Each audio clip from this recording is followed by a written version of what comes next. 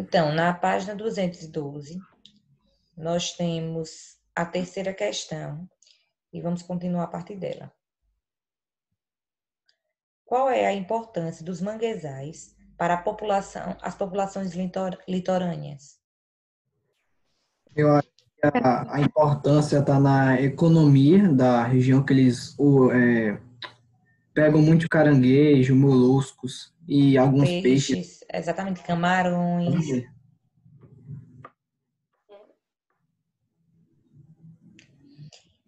Gente, então a, a importância, como o Júnior disse, a importância dos manguezais para as populações litorâneas são basicamente duas. Primeiro é a alimentação, porque eles pescam e eles se alimentam daquilo. Então tem uma rica alimentação proteica. Proteica por quê? Porque tem muita proteína. Peixes, moluscos, camarões, muita proteína. Então é uma rica alimentação proteica e eles também a uma contribuição na economia, porque eles pescam. É, a, é chamada pesca artesanal, né? Eles pescam peixes, é. camarões, caranguejos, moluscos, para ter uma fonte de renda e ajudar na sua subsistência.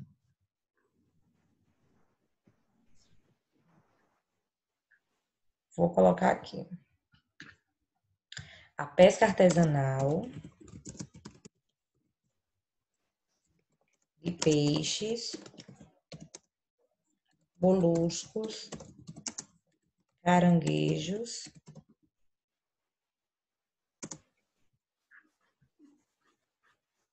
e camarões.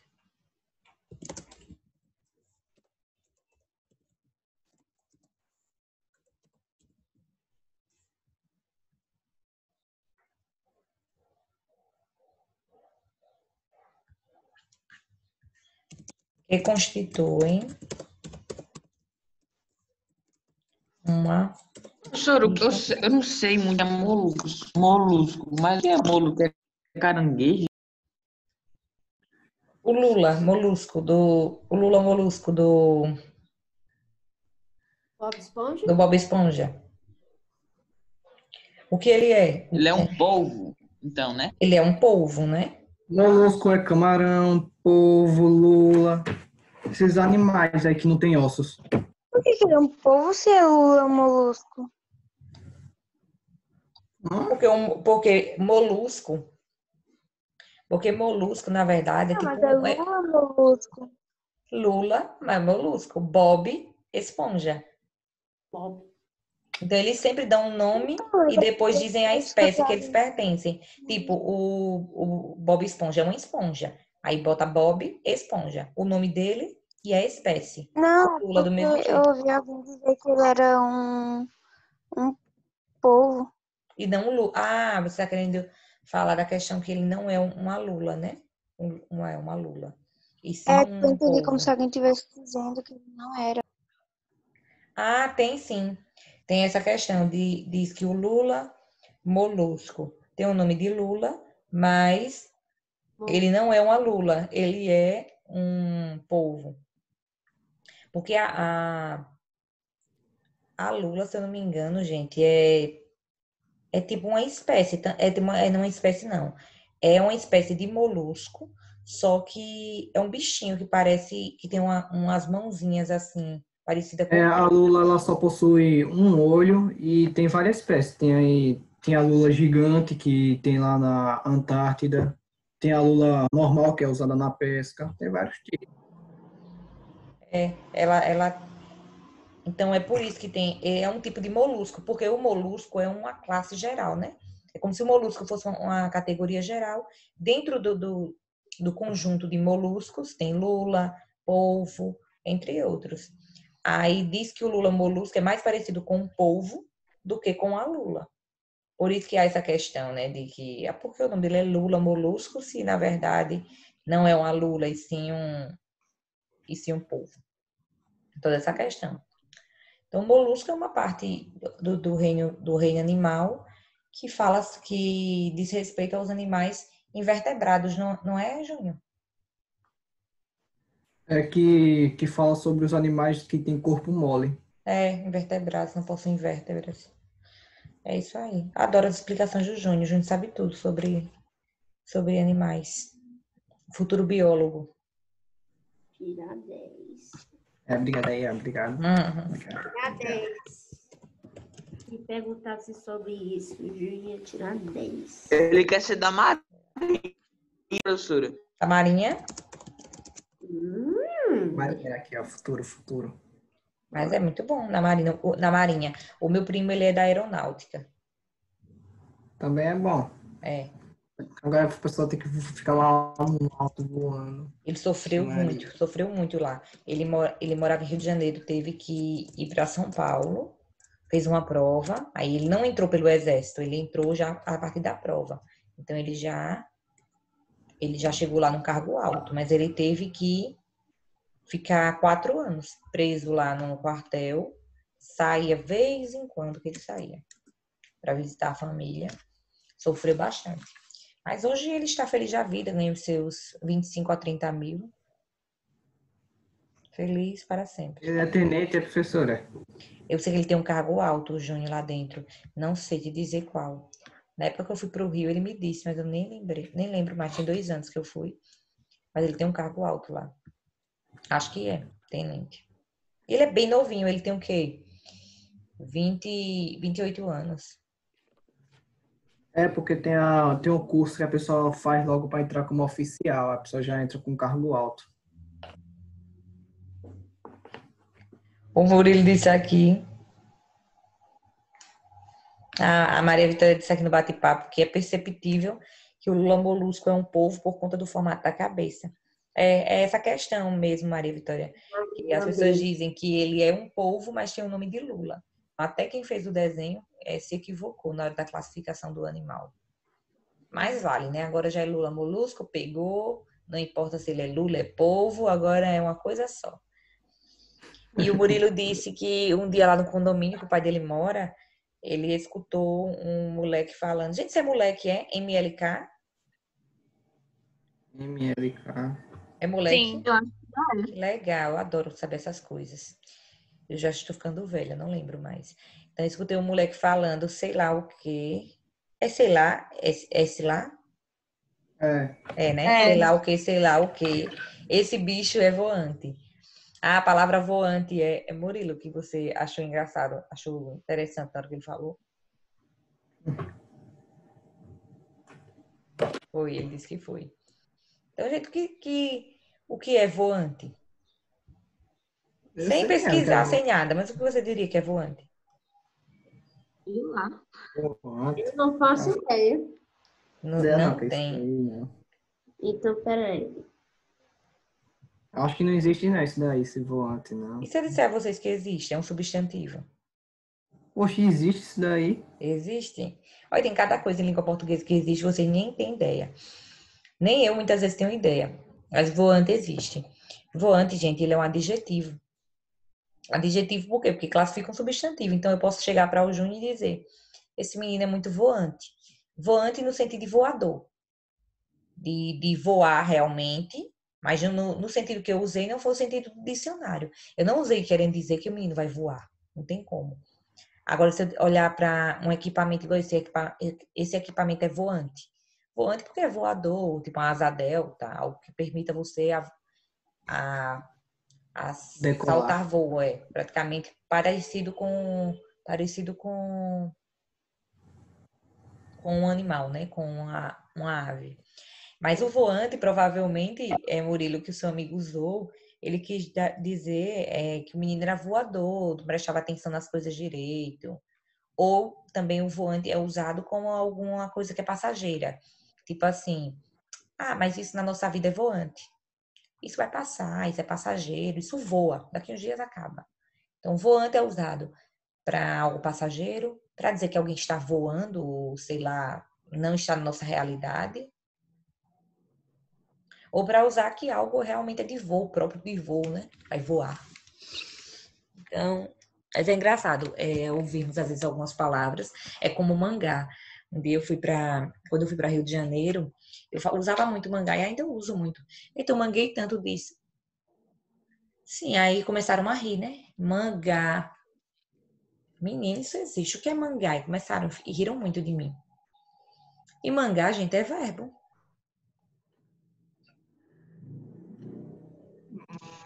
Mangá é verbo. Professora, o mangá é um verbo, né? É sim. Eu estou mangando de Imagina a fulano. brigando com o povo. Imagina eu é brigando. verbo. Minha filha, mangá é verbo, queridinho. Queridinho, escute que mangá é verbo. E ainda é um verbo transitivo indireto, porque quem manga, manga de alguém. Coisas desse tipo. Então, mangá, verbo. Tem palavras que achamos que são erradas, que nós nordestinos usamos de, usamos de forma errada, mas na verdade existem. Só não são usuais em algumas regiões, como o mangá. O mangá, em regiões, são. O mangá é aquele livrinho, né? De, de história japonesa, É, sei lá, o japonês.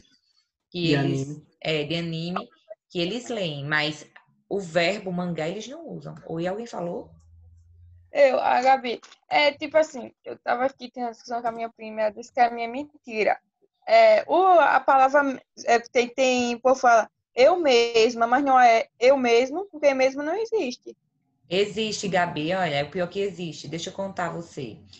O mesma. Ah, que legal, achei uma nova função. Achei uma nova função aqui no Zoom, de salvar o quadro. Eu tirava print sempre, agora achei uma função de salvar, que legal. Sim, voltando. Bem aleatório o que eu disse. É, Gabi, o mesmo e o mesma, eles eles devem sempre concordar com o sujeito a qual, a qual se refere. O mesmo, mesma, próprios. Ele sempre, ele sempre deve concordar. Quando eu digo assim,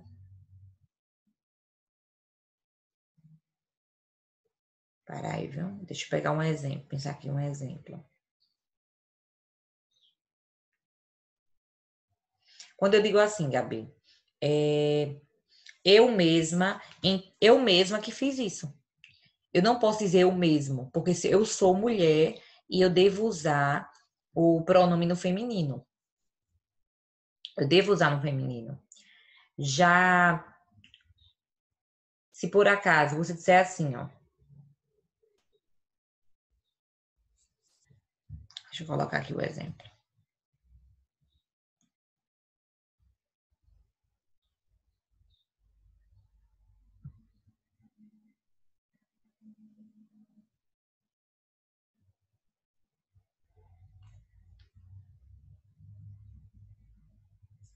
Então, a palavra mesmo, ela pode ser duas coisas, Gabi. Ó, ela pode ser advérbio ou ela pode ser adjetivo. Adjetivo é característica, você sabe. Advérbio não muda de gênero. Advérbio não muda o gênero. Não existe mesmo e mesma quando é advérbio.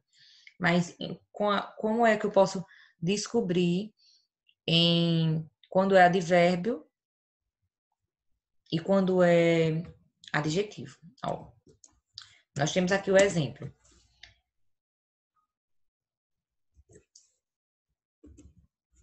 Eduardo comeu mesmo minha fatia de bolo. Digamos que eu conversei com o Eduardo e disse, olha, vou deixar essa fatia de bolo aí, não é para comer não. Tá certo. Quando eu saio de casa, eu chego, olho, ele tinha comido minha fatia. Eu digo, Eduardo comeu mesmo minha fatia de bolo. Esse mesmo aqui, observem que ele não está concordando com Eduardo. Ele está sendo direcionado ao comeu. Por isso que ele é advérbio. Eduardo comeu minha fatia de bolo. Eduardo comeu mesmo. O mesmo ele está diretamente ligado ao verbo. Por isso que nesse caso aqui, esse mesmo, ele é um advérbio. E observe que ele não tem gênero. Não tem masculino feminino. Eu poderia colocar, deixa eu colocar logo o nome aqui, advérbio. Eu poderia colocar aqui, ó, Antônia. Antônia. Antônia comeu mesmo minha fatia de bolo. Mudou o sentido, gente, a frase? Eu preciso colocar mesma. Antônia comeu mesma. Não, não tem nada a ver. Porque o mesmo não está direcionado a, a Antônia. O mesmo ele está direcionado ao comeu. Então, o que modifica o verbo é advérbio. Vocês sabem disso. Mas agora Eu vamos vi, ver. eu vi isso dizendo que não existe naquela dica de português que a pessoa coisa no estraga nem assim. Aí tinha, mesmo, mesmo não existe. Mas, na verdade, o que não existe é o menos. Existe menos, mas o menos não. Agora, o mesmo existe. O mesmo existe, só que em, em- quando ele é adjetivo, ó. Ela mesma comeu a fatia do bolo.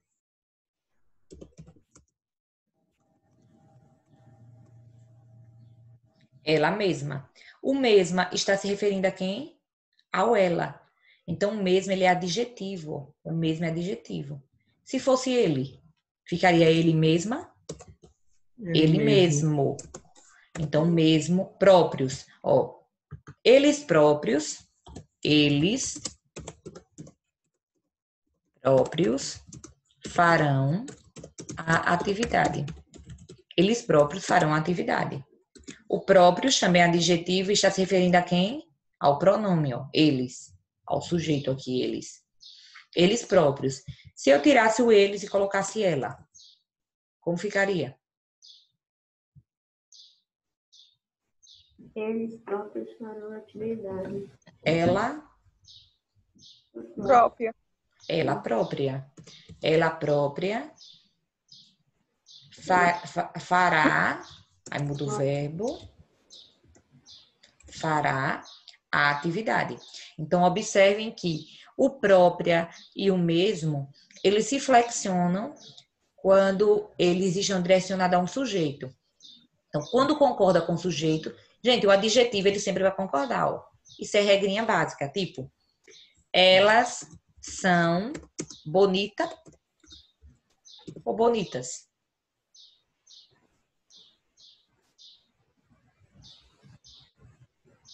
Elas são bonita ou bonitas?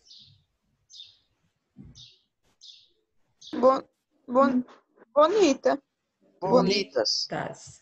Elas são bonitas. Agora, se eu disser ela é bonita, aí eu mudei o verbo, coloquei tudo no singular. Então, observem que o bonito é adjetivo e ele sempre vai concordar com o seu sujeito. O adjetivo, gente, ele sempre concorda com o sujeito. O adjetivo, ele sempre concorda com o sujeito. Então, o mesma existe, o mesmas existem, o própria existe e o próprias também. Mas quando concorda com o sujeito. Eu mesma fiz isso. Agora, se você disser eu fiz isso mesmo, aí é diferente. Eu fiz isso mesmo. Agora, eu mesma estou me referindo a mim, então devo concordar com o sujeito que é feminino, porque eu sou mulher e eu devo concordar com esse sujeito. Questão de gênero. Quarta questão. Porque, apesar de não ser muito rico em diversidade de espécies, o manguezal é considerado um ecossistema muito produtivo.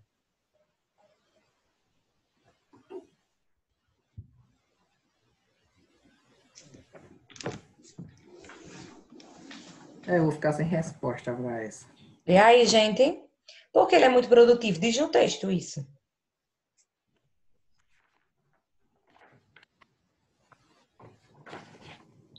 Tem muita diversidade no manguezal, mu- muitos, é, muitas espécies diversas. Não, né? Ah, O manguezal ele tem algumas espécies que são próprias dele. Só que lá não tem muita diversidade, mas tem muita quantidade.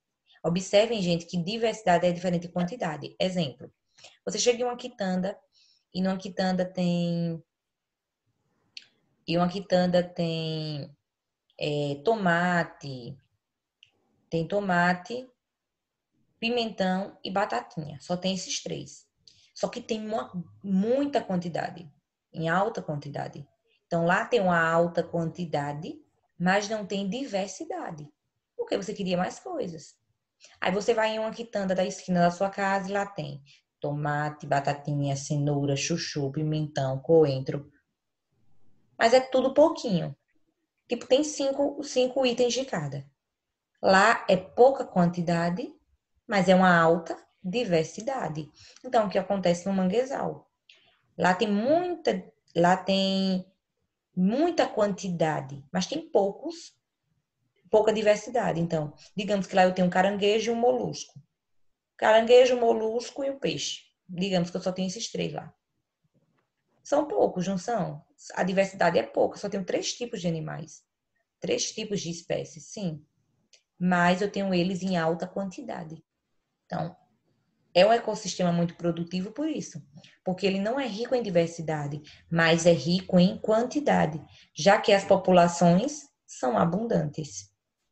São grandes, abundantes.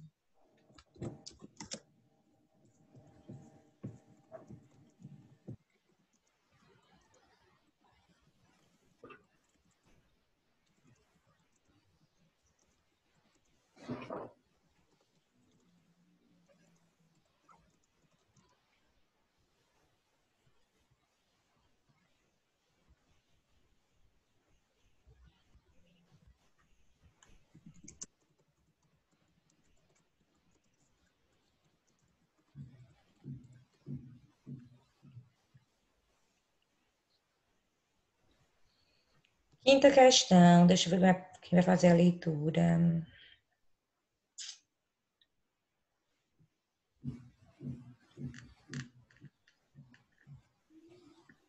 Cauã. Cauã, leia, por favor, a quinta questão.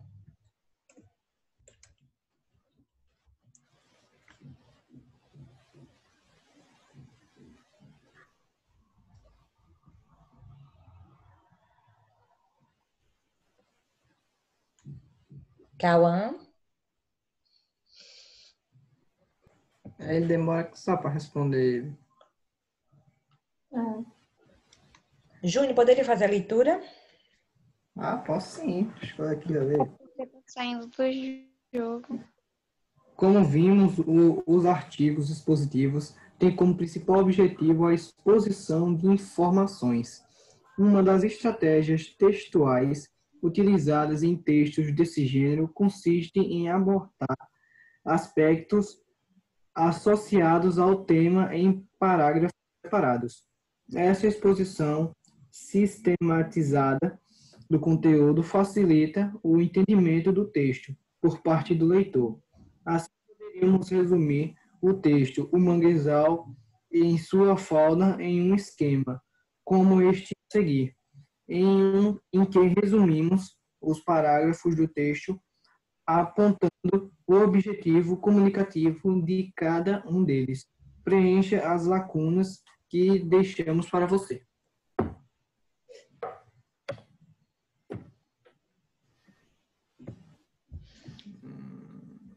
Peraí. Pronto. O título.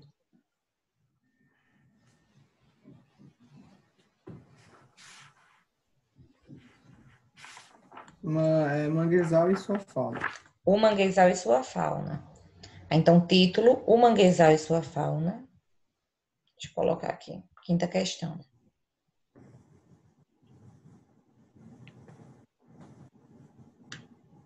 Quinta questão, gente, vou fazer a correção aí, viu? Título: O manguezal e sua fauna.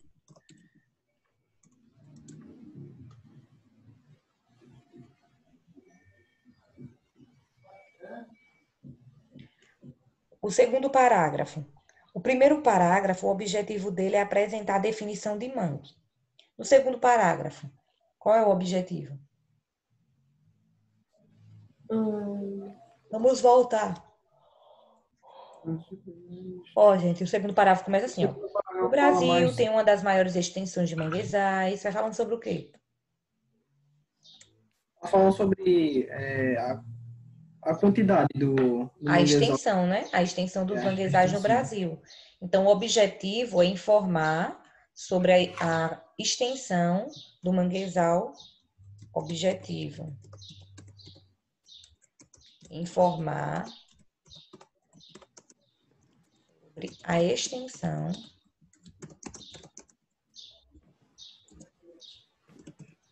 manguezal no Brasil.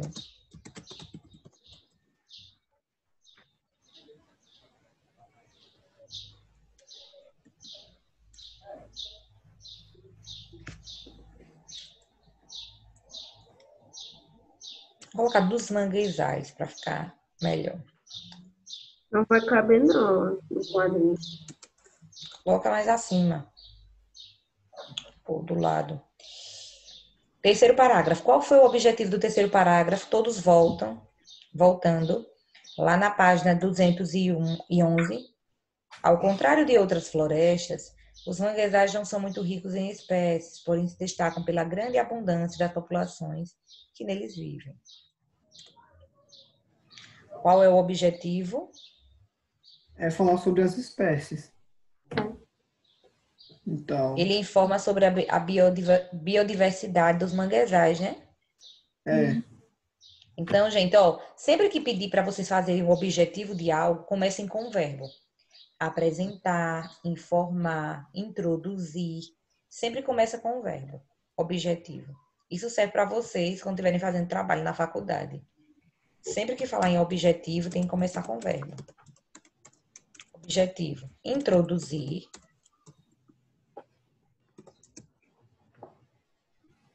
A biodiversidade. dos manguezais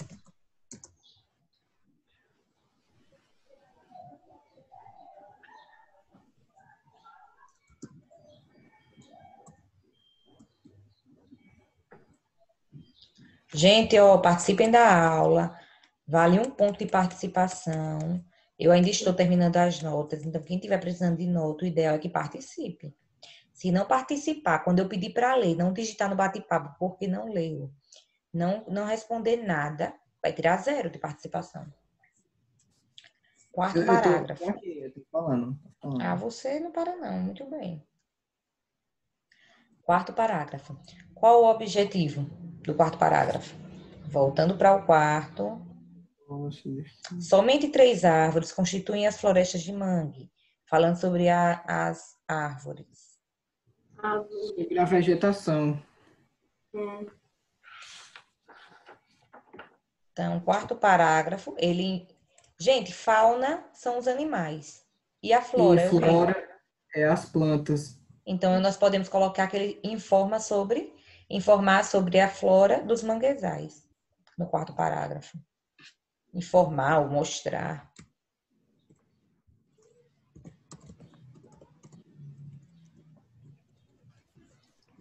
Informar sobre a flora dos manguezais. O quinto parágrafo.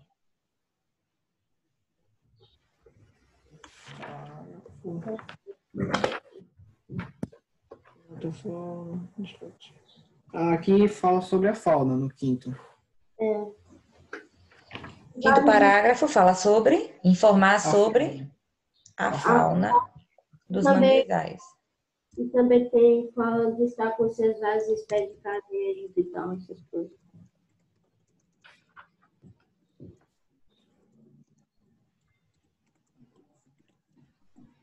Informar sobre a fauna dos manguezais. Gente, já são 9h51, vou finalizar a aula. Segunda-feira que vem, terminamos a correção. E eu inicio o capítulo 6 com vocês. Certo? Certo. Lembrando que depois de amanhã eu vou mandar a lista de quem passou no grupo, quem não passou, conversa comigo no privado. Então, gente, tchau, tchau. Bom resto de semana e bom fim de semana para vocês. Assim, Ah. Tchau. Tchau.